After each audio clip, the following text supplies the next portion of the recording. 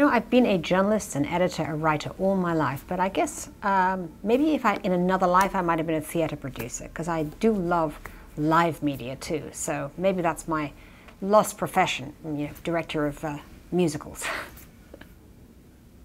when I moved to start the Daily Beast, which is uh, an online news site, um, I'd never been in digital journalism, but I was very keen after doing print for so many years to move into the new métier, obviously, of online and actually, in a way, it appealed to my sense of impatience because now it was just my black iPhone texting immediately that something happened, getting all these writers that I know to respond. And they did. It's like having a fish on a hook. I couldn't believe what it felt like when a piece caught on. And suddenly you felt all of these readers, you know, logging on and, and the sense of traffic uh, growing. Uh, and we had a, a chart in the office which showed the traffic, you know, one by one by one by one, up, up, up, up, up. Very, very exciting. It's like a ticker tape.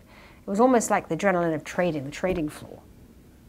I guess I am a news junkie, and I like to, to explain, to contextualize, to, to create the agenda of the story, uh, whatever it is, whether it's what's happening with the refugees or whether it's why everybody's obsessed with Kim Kardashian. It's all news as far as I'm concerned, and I like to be the editor that is uh, in the middle of that. I love that. And I like to lead the news too. I like to be able to set the agenda.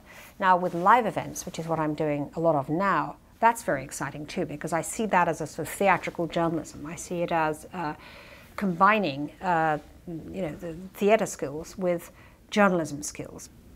When I started Women in the World, nobody at that time was telling the stories of these incredible women who were the great role models that we never hear from. Women who are leading revolutions in Liberia, women who are uh, working in the heat of the Arab Spring, women who are battling uh, uh, for rights of women in India.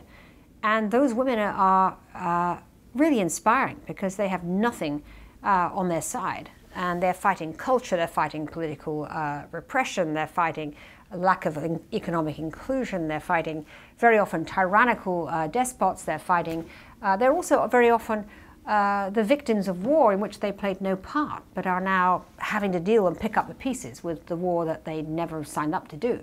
So those women are my heroes, and I wanted to hear their stories told to a bigger audience, and I was determined to bring them to the stage because the more I met them, which I had done through some of the NGOs that I that I work around, you know, I kept meeting these women. I thought, wow, they there they should be rock stars. These women should be as famous as anyone we've heard of because they're so impressive. You know, I feel we're an insular world right now. We're shut in too much. We are uh, focused on our own cultures.